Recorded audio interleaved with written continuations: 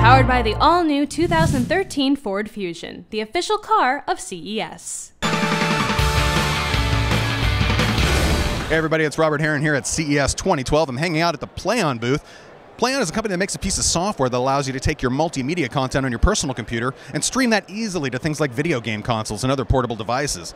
They have a new piece of software called Play Later, and what that allows you to do is take your favorite sources of streaming online video and save that to your computer in real time. It also uses a protected Windows format so that you're not just ripping and recording at will. It's actually kind of respecting the, the copyright holders you know, intellectual property, so to speak. Hey, the, currently though, the software is available uh, for seven dollars a month. If you want to try it for just a month, there is a 14-day free trial. If you want to buy it by the year, it's twenty dollars, and if you want to buy it lifetime, it's fifty dollars straight up.